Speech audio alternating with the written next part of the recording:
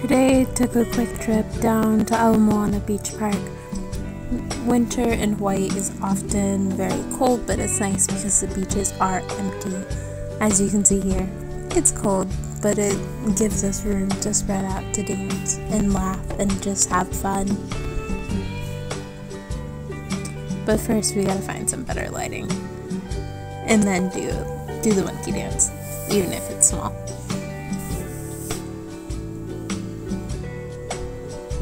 Also provides for some scenic views of Diamond Head in the background.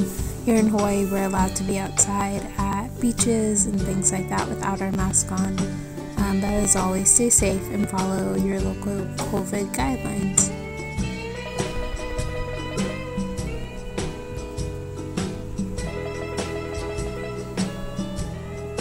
And a trip to town would not be complete without a trip to our favorite Indian restaurant, Maharani. They have the best Indian food here on Oahu, totally recommend it.